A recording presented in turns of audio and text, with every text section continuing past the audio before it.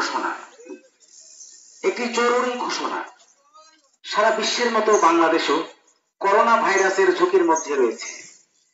Corona ভাইরাসের প্রাদুর্ভাব ঠেকাতে জেলা দুর্যোগ ব্যবস্থাপনা কমিটি ও জেলা করোনা ভাইরাস প্রতিরোধ কমিটির সিদ্ধান্ত মোতাবেক নিত্য প্রয়োজনীয় দ্রব্যাদির দোকান, জরুরি সেবা ও ঔষধের দোকান ছাড়া সিরাজগঞ্জ জেলার সকল হোটেল, রেস্তোরাঁ চা ভূষণার দোকান চার এপ্রিল দু তারিখ পর্যন্ত সাময়িকভাবে বন্ধ ঘোষণা করা হলো।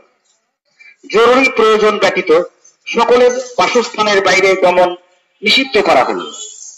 আদেশ অমান্যকারীদের বিরুদ্ধে আইনানুগ ব্যবস্থা গ্রহণ করা হবে। জনস্বার্থে জারিকৃত এই আদেশ অবিলম্বে কার্যকর হবে। জেলা প্রশাসক ও জেলা ম্যাজিস্ট্রেট সিরাজগঞ্জ। একটি জরুরি ঘোষণা। একটি জরুরি ঘোষণা। সারা বিশ্বের মতো বাংলাদেশে করোনা ভাইরাসের ঝুঁকির মধ্যে রয়েছে।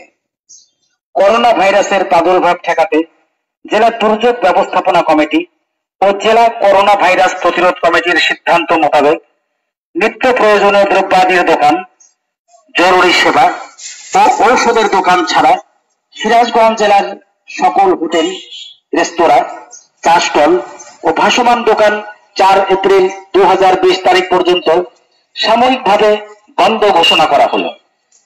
জরুরি প্রয়োজন ব্যতীত সকলের বাসস্থানের বাইরে গমন নিষিদ্ধ করা হলো। আদেশ অমান্যকারীদের বিরুদ্ধে আইনানুগ ব্যবস্থা গ্রহণ করা হবে। জনস্বার্থে জারিকৃত এ আদেশ অবিলম্বে কার্যকর হবে। জেলা প্রশাসক ও জেলা ম্যাজিস্ট্রেট সিরাজগঞ্জ।